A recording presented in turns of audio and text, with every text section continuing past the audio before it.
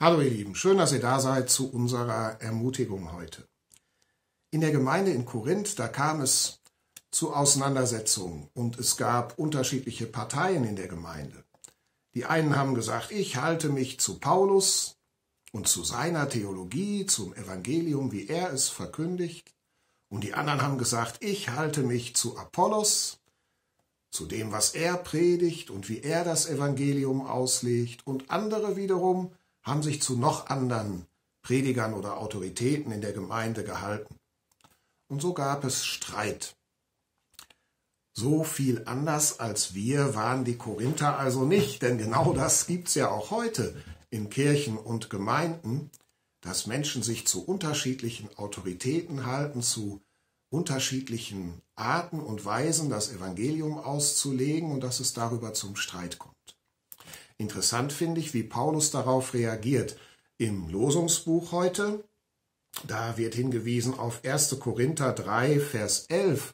Da schreibt Paulus, denn einen anderen Grund kann niemand legen außer dem, der gelegt ist, welcher ist Jesus Christus. Einen anderen Grund kann niemand legen außer dem, der gelegt ist, welcher ist Jesus Christus. Und der Zusammenhang, in dem er das schreibt, der Paulus, ihr könnt das mal nachlesen in 1. Korinther 3 im Neuen Testament, der Zusammenhang ist genau diese Auseinandersetzung, von der ich gerade gesprochen habe dass einige sagen, wir sind Paulus-Leute und andere sagen, wir sind Apollos-Leute und wieder andere sagen, wir sind noch ganz andere Leute. Und Paulus, das finde ich ganz bemerkenswert, reagiert in seinem Brief nun nicht so, dass er sagt, prima, wenn ihr auf meiner Seite seid und alle so denkt wie ich und schießt den Apollos doch ab, sondern Paulus reagiert ganz, ganz anders.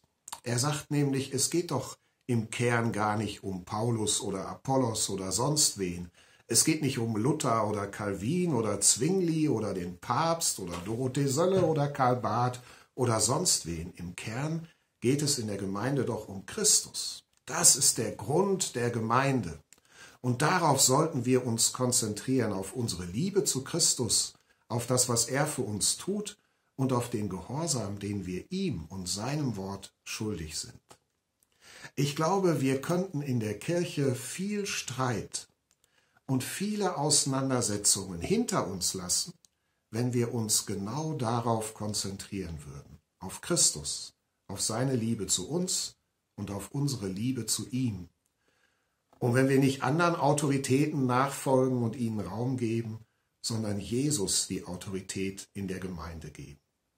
Ich wünsche euch einen guten Tag, ihr Lieben. Wenn ihr Lust habt, lest mal 1. Korinther 3. Seid behütet, seid gesegnet, passt gut auf euch auf, passt aufeinander auf und wenn ihr wollt, dann bis morgen. Tschüss.